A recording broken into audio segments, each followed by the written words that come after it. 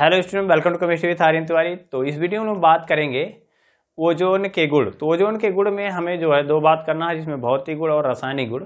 तो इस वीडियो में अगर हम बात करें तो सबसे जो इम्पोर्टेंट जो टॉपिक है, वो है आपका ऑक्सीकारक और अपचाय गुण, यानी रिड्यूसिंग एंड ऑक्सीडाइजिंग प्रॉपर्टी बहुत ही इंपॉर्टेंट है ये आपका एग्ज़ाम के पॉइंट ऑफ़ व्यू से। यहाँ से मैक्सिमम क्वेश्चंस आपका किसी कंपटीशन में या फिर कह सकते हैं आपके बोर्ड के एग्ज़ाम में आता है।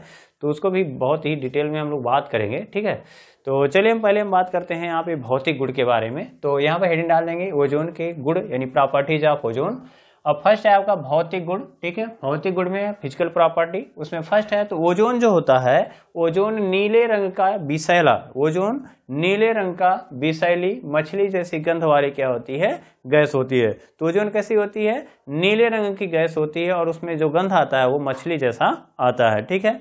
और उसके बाद जो दूसरा है आपका ओजोन को अगर हम क्या करते हैं ठंडा करते हैं तो ओजोन ठंडा करोगे तो धीरे धीरे पहले क्या होता है गैस जो होता है वो हल्का नीला होता है लेकिन धीरे धीरे ठंडा करोगे तो और पास पास में आएँगे और उधरों में बदल जाएँगे तो थोड़ा और नीला दिखेगा ठीक है?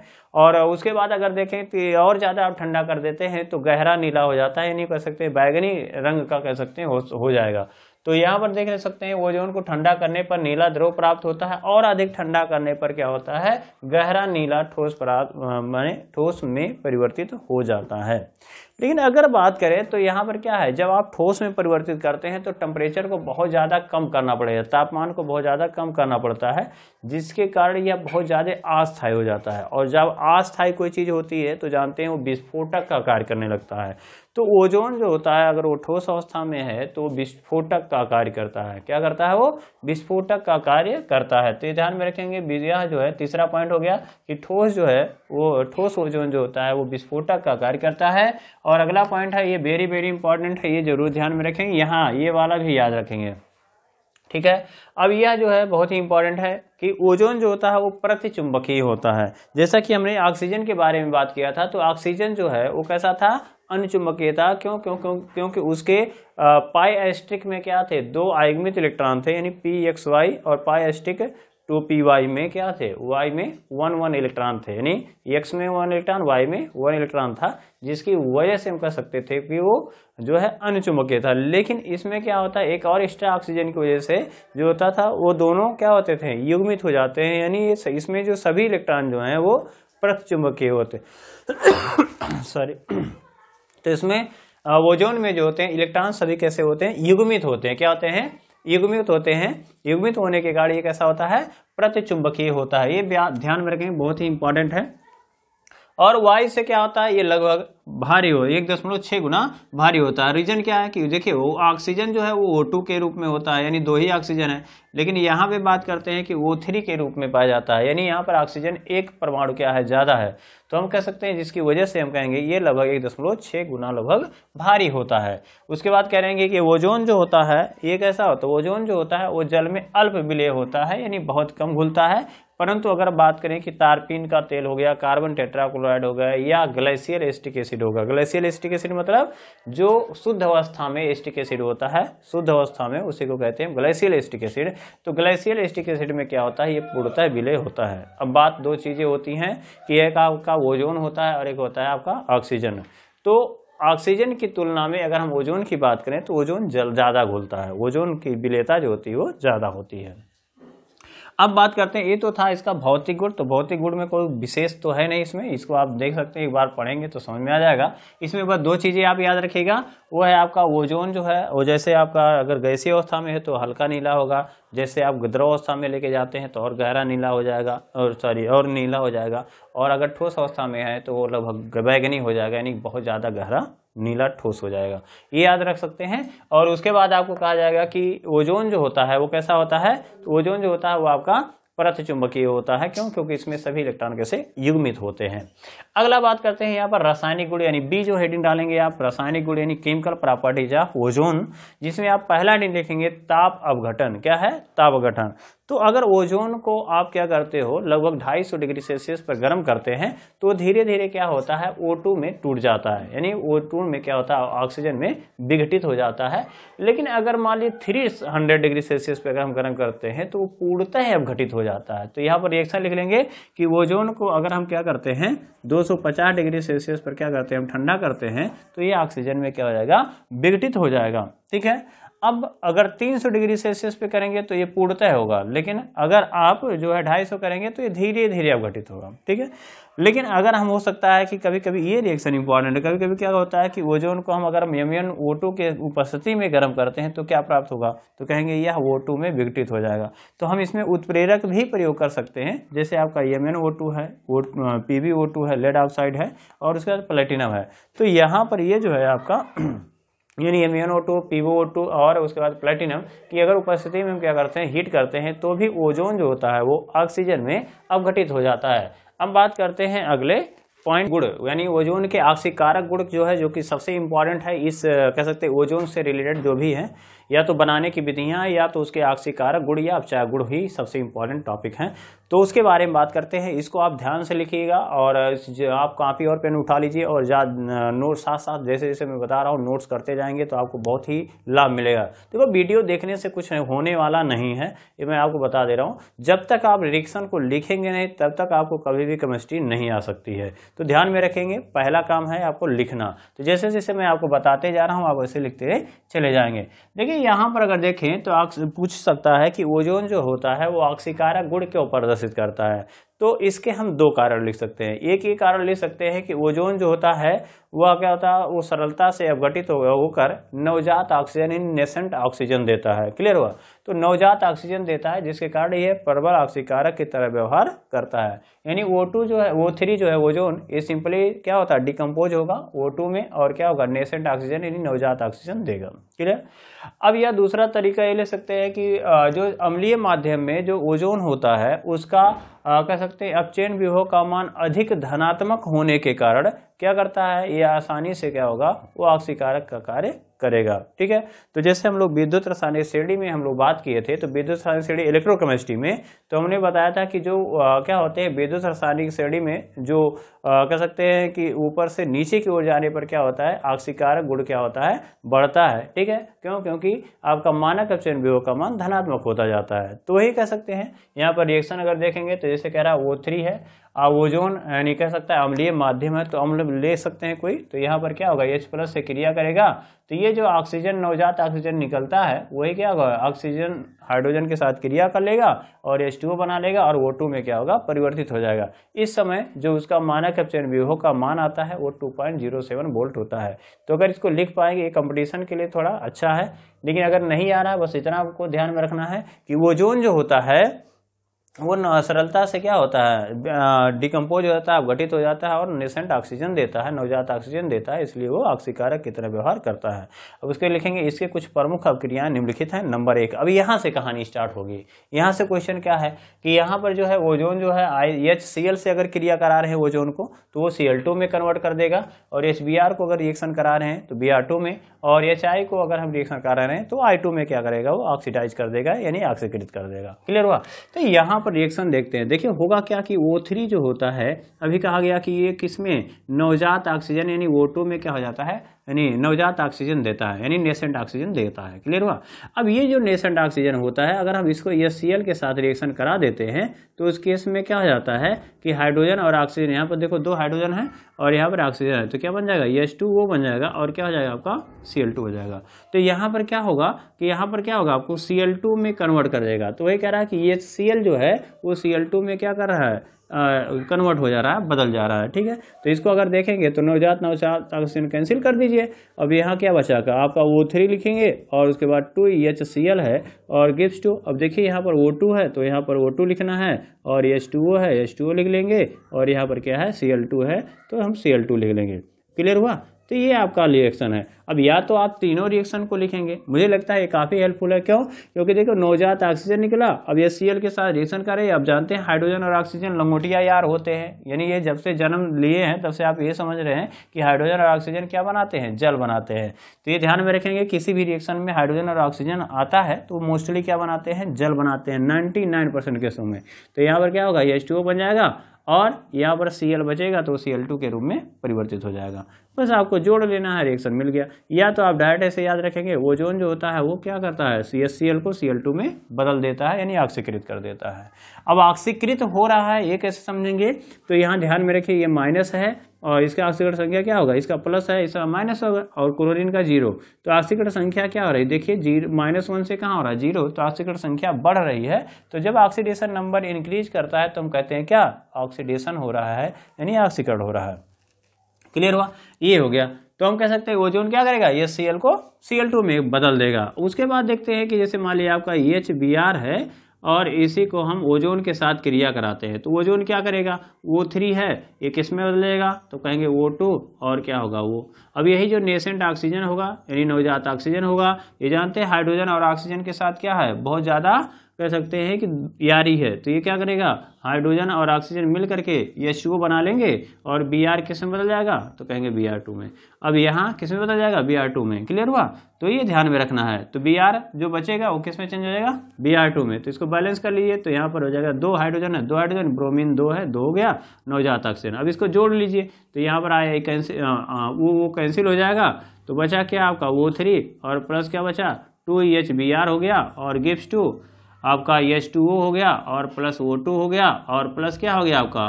बी आर टू हो गया। क्लियर हुआ? तो वही कह रहा है ओजोन जो है, वो एच बी आर को क्या करता है? बी आर टू में कन्वर्ट कर देगा। इसी तरीके से अगर आप एच आई ले लेंगे तो ध्यान में रखेंगे, या देखिए दूसरा हो गया एग्ज़ाम्पल इसको आप ए लिख लेंगे, इसको आप बी लिख लेंगे, और आपका सी है। तो सी अगर देखेंगे कि ओजोन जो है, वो किसमें बदलेगा? तो कहेंगे ओ में और नेसेंट ऑक्सीजन में। एच के साथ रिएक्शन करा सकते हैं, यानी हाइड्रोजन आयोडाइड है। अब इसे रिएक्शन कराएँगे, ठीक है? तो ये नवजात ऑक्सीजन जो होगा, वो क्या होगा? हाइड्रोजन ऑक्सीजन मिल गया तो क्या बनेगा? एच टू ओ और आई बचा तो आई किस रूप में होता है? तो कहेंगे आई टू के रूप में। बस हो गया। अब इसको बैलेंस कर लिए, देखिए हाइड्रोजन कितना है, आपका दो है। तो दो ले लिया आयोडीन दो हो गया ऑक्सीजन एक हो गया बैलेंस नवजात ऑक्सीजन कैंसिल हो गया।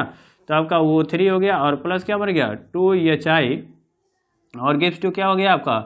एच टू होगा और प्लस वो टू होगा और प्लस क्या हो गया? आई टू हो गया। क्लियर हुआ? तो यहाँ पर हम कह सकते हैं, ये इंपॉर्टेंट है, ये वेरी वेरी इंपॉर्टेंट है। ये आता है, क्या होता है जब? क्या होता है जब? हाइड्रोजन आयोडाइड के में, के विलेन में क्या करते हैं हम? ऑक्सीजन गैस प्रवाहित करते हैं। तो हाइड्रोजन आयोडाइड को क्या करता है? ओजोन आयोडीन में क्या करेगा? ऑक्सीकृत कर देता है। ठीक है? तो ये हो गया हमारा पहला। यानी ओजोन जो है एस सी एल को सी एल टू में एच बी आर को बी आर टू में, और एच आई को आई टू में क्या करेगा? ऑक्सीकृत कर दिया। ठीक है? तो ये हमने रिएक्शन देख लिया। ठीक है? तो अगर ये आपको वीडियो पसंद आ रहा है तो ज़्यादा से ज़्यादा लाइक करिए सब्सक्राइब करिए और शेयर करिए, ठीक है? अब अगला देखते हैं। तो अगर जो वीडियो, जैसे हमने बात किया था ओजोन बनाने की विधि तो ओजोन बनाने की विधियों में हमने अच्छे से डिटेल में बात किया तो उस वीडियो को अगर आप नहीं देखे हैं तो आप उसको आप देख सकते हैं। क्लियर हुआ? और ध्यान में रखिए, ये जो रिएक्शन मैं लिखवा रहा हूँ, आप ज़्यादा से ज़्यादा रिएक्शन को घर पर लिखने की प्रैक्टिस करने की कोशिश करिए। दो दो बार तीन तीन बार उस रिएक्शन को लिखिए, आपको ईजिली जो है वो समझ में आ जाएगा। चलिए, अब यहाँ पे बात करते हैं, दूसरा पॉइंट जो है, ठीक है, कि जो ओजोन है, ओजोन, ठीक है, हाइड्रोजन सल्फाइड को, हाइड्रोजन सल्फाइड को सल्फ़र में ऑक्सीकृत कर देता है। क्या करेगा? ऑक्सीकृत कर देता है। अब इसके रिएक्शन को कैसे लिखेंगे? ये देखिए अगर देखेंगे कि ओजोन जो है, वो जानते हैं किसमें बदलेगा? तो कहेंगे वो टू में, और क्या देगा? ऑक्सीजन। अब यहाँ देखिए हाइड्रोजन सल्फाइड है तो एच टू एस लिखोगे? क्या लिखोगे एच टू एस है अब ये क्या करेगा? यही नेसेंट ऑक्सीजन होगा, जो जुड़ेगा तो उसे कहेंगे कि क्या कर रहा है वो? ऑक्सीकृत कर रहा है। तो हम कहेंगे ये हाइड्रोजन और ऑक्सीजन मिलकर क्या बनाएँगे? एच टू ओ और प्लस क्या हो गया। यस रिएक्शन बैलेंस कर लेंगे। हाइड्रोजन दो है बैलेंस है ऑक्सीजन एक है और सल्फ़र एक है। रिएक्शन क्या है? बैलेंस है। अब यहाँ पर नवजात ऑक्सीजन नवजात ऑक्सीजन से कैंसिल हो जाएगा। तो ये हो जाएगा आपका वो थ्री और प्लस क्या हो जाएगा? एच टू एस गिफ्ट टू क्या है आपका? ओ टू है और प्लस क्या है आपका? एच टू है और प्लस क्या हो जाएगा आपका? सल्फ़र हो जाएगा। क्लियर हुआ? तो इस केस में अगर देखा जाए तो ओजोन क्या किया? हाइड्रोजन सल्फाइड को सल्फ़र में ऑक्सीकृत कर दिया। ये भी रिएक्शन इंपॉर्टेंट है। एक हाइड्रोजन आयोडाइड वाला है और एक हाइड्रोजन सल्फाइड वाला है। अगला तीसरा अगर देखेंगे तो हम ये कह सकते हैं कि ओजोन ओजोन हो गया। ओजोन जिंक सल्फाइड हो गया। ठीक है? ओजोन जिंक सल्फाइड या, लिख सकते हैं कॉपर सल्फाइड या, कह सकते हैं कि लेड सल्फाइड को ठीक है? संगत को संगत सल्फेट में, संगत सल्फेट में, संगत सल्फेट में ऑक्सीकृत कर देता है। क्या कर देता है? ऑक्सीकृत कर देता है। ठीक है? देखिए, लिखने में थोड़ा सा टाइम लगता है, इसलिए जो है मैं कोशिश करता हूँ कि उसे लिखा हुआ हो तो आपका टाइम थोड़ा बच जाएगा। अब देखिए, यहाँ पर जो है, जैसे मान लिया आपने जिंक सल्फाइड है ठीक है? अब ओजोन के साथ रिएक्शन करा रहे हो क्लियर तो ओजोन क्या करेगा भाई? पहले वो थ्री है तो ये किसमें टूटेगा? वो टू में, और प्लस नेसेंट ऑक्सीजन होगा। क्लियर हुआ? नहीं हुआ? अब यही जो नेसेंट ऑक्सीजन होगा, ये बहुत ज़्यादा रिएक्टिव होता है, यही ऑक्सीडाइज करेगा। तो जिंक जो होगा, वो क्या होगा? अगर देखा जाए ठीक है? तो जिंक जो है देखिए जेड एन एस है तो सल्फ़र जो होगा वो ऑक्सीजन के साथ रिएक्शन करेगा तो बना लेगा Z N S O four. क्या बना लेगा? Z N S O four. इसका मतलब ऑक्सीजन आपको कितना लगने वाला है? चार। तो यहाँ पर चार ले रहे हैं तो यहाँ पर निकल कितना आ रहा है ऑक्सीजन? तो एक ओजोन कितना ऑक्सीजन दे रहा है? एक। इसका मतलब ये टोटल कितना करना पड़ेगा? हम चार लेना है तो चार से गुणा करना पड़ेगा। तो चार बार रिएक्शन कराएँगे तो चार ऑक्सीजन आपको मिल जाएगा। या चार अणु विघटित होंगे तो चार ओजोन सॉरी चार नवजात ऑक्सीजन मिल जाएगा। तो इसलिए क्या होगा? ये सल्फेट में ये चार निकला और ये चार आप सल्फ़र से जुड़ा तो क्या बन गया? Z N S O four बन जुड़ गया। ठीक है? अब इसको जोड़ लीजिए। तो यहाँ देखिए, ये ये कैंसिल हो गया, चार के साथ बचा क्या? तो हम कहेंगे Z N S O four हो गया। जेड एन एस है, यहाँ पर क्या है? ओ थ्री है। क्या है? ओ थ्री है। लेकिन कितने से गुड़ा किए हैं? चार से। तो यहाँ पे चार से गुड़ा करना पड़ेगा। अब यहाँ क्या बना? तो कहेंगे Z N S O four बना, यानी जिंक सल्फेट बना, और वो ओ टू बना। ओ टू कितना बनेगा? तो कहेंगे चार ओ टू बन जाएगा। क्लियर हुआ? तो ये आप या तो तीनों रिएक्शन को लिख लीजिए, या तो आप इस रिएक्शन को लिखेंगे कि ओजोन जो है, वो जिंक सल्फेट को क्या करेगा? जिंक सल्फाइड को जिंक सल्फेट, ध्यान में रखेंगे सल्फाइड है, ठीक है? क्या है आपका? सल्फाइड। तो जिंक सल्फाइड को क्या करेगा? जिंक सल्फेट में क्या करेगा? कन्वर्ट कर देगा। किसमें? जिंक सल्फेट में। क्लियर हुआ? ये ध्यान में रखेंगे। अब इसी टाइप से अगर देखा जाए तो आप यहाँ पर जिंक के जगह पर आप लेड ले सकते हो। कि लेड अगर हम सल्फाइड ले लेते हैं, यानी पी बी यस ले लेते हैं, और उसे हम ओजोन के साथ रिएक्शन कराते हैं। ओजोन के साथ रिएक्शन कराते हैं। तो क्या है? जैसे जेड एन यस है, वो क्या बना लिया? Z N S O four तो ऐसे लिख सकते हो आप Z N S O four और प्लस क्या हो जाएगा? ओ टू बदल जाएगा। क्लियर हुआ? बैलेंस करना है तो जैसे यहाँ पे चार है, यहाँ भी वैसे क्या करेंगे? चार लिख देंगे। क्लियर हुआ? इसी टाइप से अगर आप जिंक ले लिए कॉपर सल्फाइड ले लोगे तो क्यूप्रस सल्फाइड जो होगा कॉपर सल्फाइड जो है, वो भी ओजोन के साथ क्रिया करेगा। तो क्या बनाएगा? कॉपर सल्फेट बना लेगा। क्या बना लेगा? कॉपर सल्फेट बना लेगा और क्या हो जाएगा आपका? ओ यानी ऑक्सीजन गैस मुक्त हो जाएगा। ठीक है? तो ये हमने क्या कर लिया? ये तीसरा हमने देख लिया कि ओजोन जो है, वो जिंक सल्फाइड हो या कॉपर सल्फाइड हो लेड सल्फाइड हो, उनको क्या करेगा? सल्फाइड को सल्फेट में ऑक्सीकृत कर दे रहा है, ठीक है? तो ये हमने देख लिया। अब बात करते हैं, कुछ और हो जाएगा। और लिखना है कि जैसे मान लीजिए आपका क्वेश्चन इसमें आ जाएगा, पूछेगा कि क्या होता है जब, क्या होता है जब ओजोन को जिंक सल्फाइड के साथ क्रिया कराया जाता है? ठीक है? तो जिंक सल्फाइड होगा तो जिंक सल्फेट में क्या हो जाएगा? ऑक्सीकृत हो जाएगा। ठीक है? अब अगला पॉइंट है आपका, शायद चौथा है। तो जो भी होगा, आप पॉइंट लिख लेंगे। चौथा पॉइंट में क्या है कि अगर ओजोन जो है, ओजोन क्षारीय ओजोन क्षारीय पोटेशियम आयोडाइड को को पोटेशियम आयोडेट में, पोटेशियम आयोडेट में क्या कर देता है? ऑक्सीकृत कर देता है। क्या कर देता है? ऑक्सीकृत कर देता है। कर देता है। कैसे समझेंगे? अब देखिए, यहाँ पर आपका वो थ्री है, किसमें बदलेगा? तो कहेंगे वो टू में, और प्लस क्या आ जाएगा? नेसेंट ऑक्सीजन क्लियर अब पोटेशियम आयोडाइड है। क्या है आपका? पोटेशियम आयोडाइड है। तो पोटेशियम आयोडाइड क्या होगा? के आई होगा। अब ये नेसेंट ऑक्सीजन के साथ क्रिया करेगा, और एक किसमें बदल जाएगा? तो कहेंगे के आई वो थ्री में। क्लियर अब यहाँ देख रहे हो पोटेसी को बोलते हैं पोटेशियम आयोडाइड आयोडीन में देख रहे हैं ऑक्सीजन कितना लग गया? तीन। तो यहाँ पर अगर देख रहे हैं तो यहाँ पर तीन से गुड़ा कर देंगे। तो यहाँ ऑक्सीजन भी कितना निकलना चाहिए? तीन। तो पूरे रिएक्शन में क्या कर दो? तीन से गुड़ा कर दो। अब जोड़ लीजिए। तो देखिए नेसेंट ऑक्सीजन तीन यहाँ निकला था और यहाँ खत्म हो गया, जुड़ गया। तो यहाँ पर खत्म करेंगे। अब यहाँ जोड़ेंगे तो क्या आ जाएगा? टू यानी देखिए, यहाँ पर के आई है और वो जोन कितना हो गया? आपका थ्री हो गया। तो थ्री वो थ्री हो गया। गिफ्ट टू आपका हो जाएगा के आई ओ थ्री यानी पोटेशियम आयोडेट, और क्या हो गया? आई टू हो गया। जिसे क्या कहेंगे हम? Potassium iodate. Potassium iodate. ठीक है? लेकिन अगर कह रहा है और एक्सेस में अगर रिएक्शन करा देते हैं के आई और प्लस अगर हम मान लीजिए एक्सेस में ओजोन से क्रिया करा दें तो ये पर आयोडेट भी बन सकता है। के आई ओ फोर क्लियर हुआ? और ऑक्सीजन जो है, एक बढ़ा देंगे तो यहाँ पर हो जाएगा। देखिए, यहाँ पर थ्री निकल रहा था। यहाँ पे क्या हो जाएगा? फोर ओ टू तो हम कहेंगे, यहाँ पर इसे कह सकते हैं क्या? पोटेशियम पोटेशियम पर आयोडेट क्या हो जाएगा? पर आयोडेट का निर्माण हो जाएगा। तो पोटेशियम आयोडेट और पोटेशियम पर पर आयोडेट का भी निर्माण ये कर सकता है। लेकिन ये ध्यान में रखेंगे, ज़्यादातर आपको यही लिखना है, क्योंकि क्वेश्चन जो आता है वो अधिकता में नहीं आता है। ये पूछा जाता है कि क्या होता है जब पोटेशियम के विलेन में क्या करते हैं ऑक्सीजन, यानी ओजोन गैस प्रवाहित करते हैं तो किसमें बदल जाएगा? ये पोटेशियम आयोडेट में बदल जाएगा। ठीक है? अब यहाँ पर हो गया, लेकिन ये कैसा माध्यम होना चाहिए? तो कह रहा है, ये अगर हमें, कैसा होना चाहिए? क्षारिय माध्यम होना चाहिए।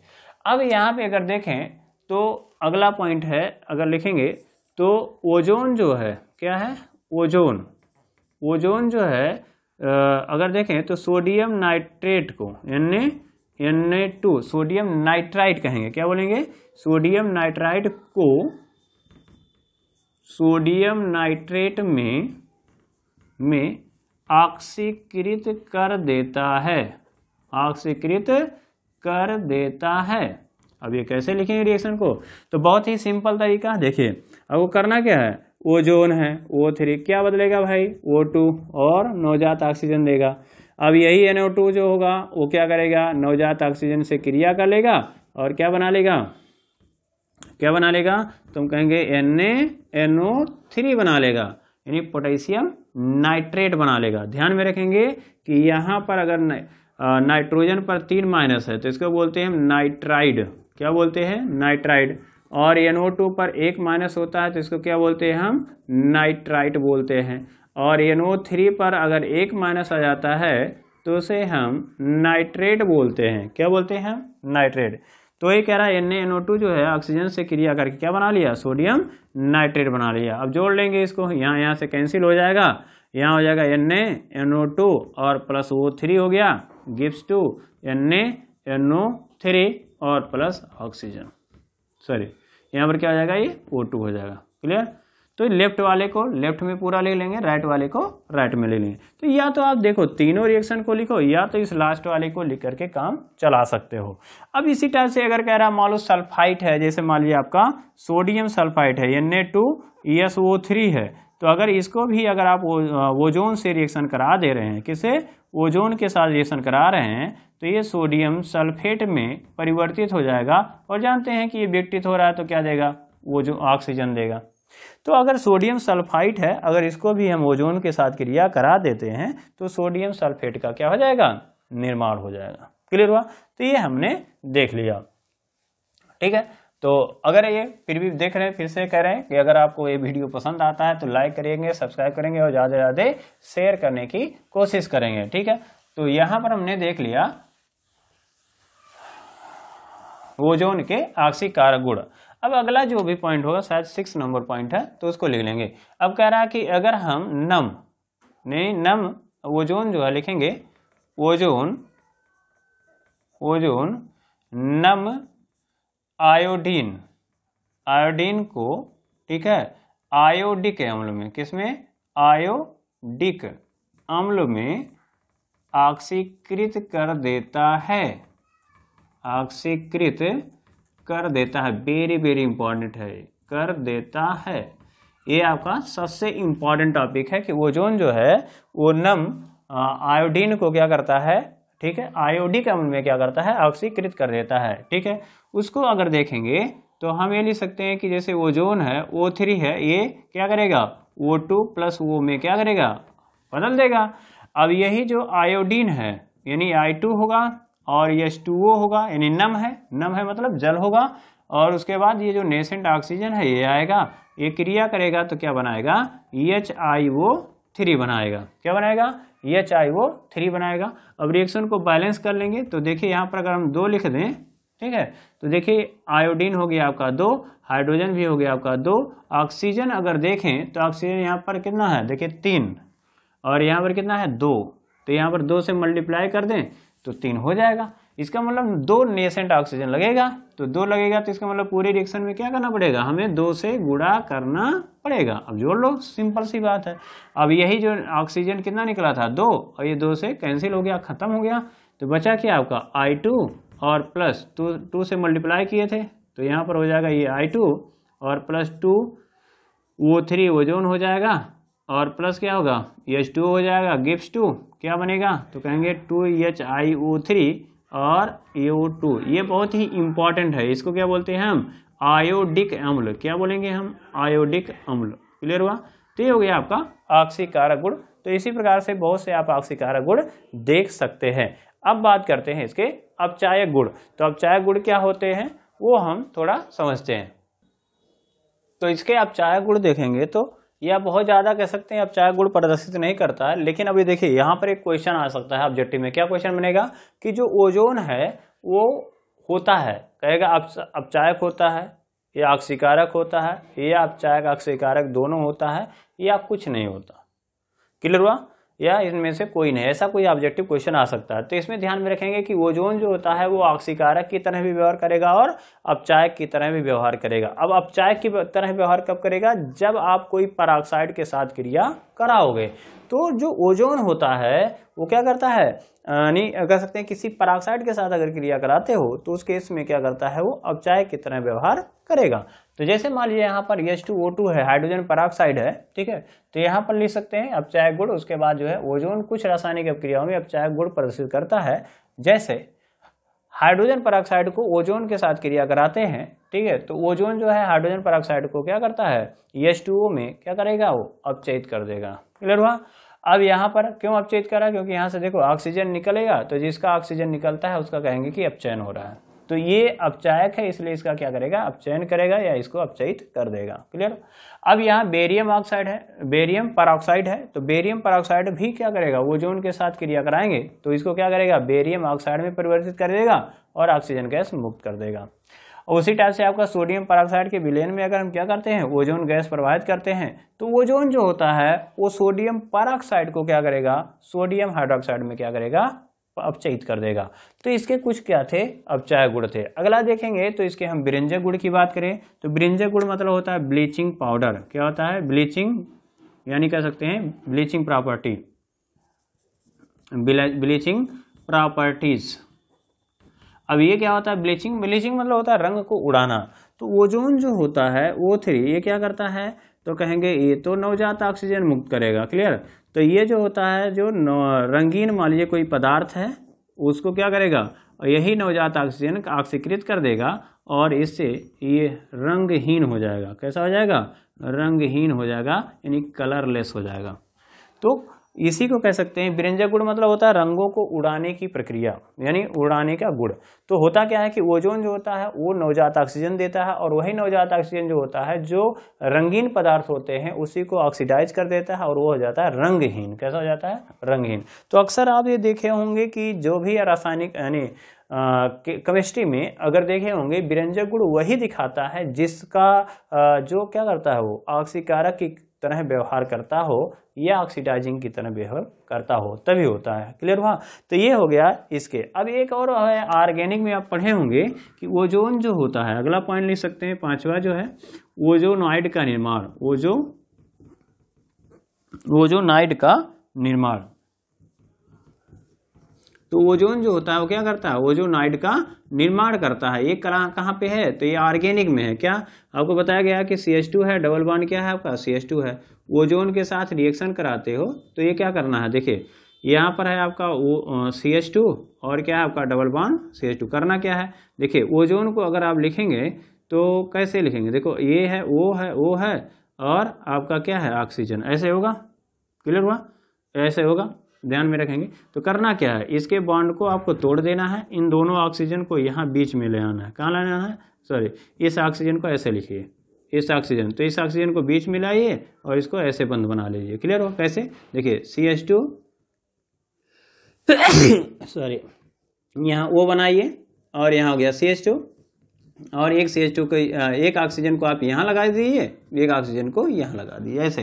तो इसी को क्या बोलते हैं? ओजोनॉइड तो यलकिन से को क्या करेंगे हम? ओजोनाइड में परिवर्तित कर देते हैं और फिर इसी को अगर हम क्या करते हैं जेड और एच के साथ रिएक्शन कराते हैं तो इसको बोलते हैं रिडक्टिव क्लोज हो गया, यानी इसका अपचयन विखंडन होगा, जिसकी वजह से आपको एल्डिहाइड या कीटोन मिलता है। तो अगर आपको ऑर्गेनिक केमिस्ट्री पढ़ना है तो आप भी कमेंट कर सकते हैं तो उसके बारे में वीडियो अलग से बनाऊँगा ऑर्गेनिक केमिस्ट्री के लिए।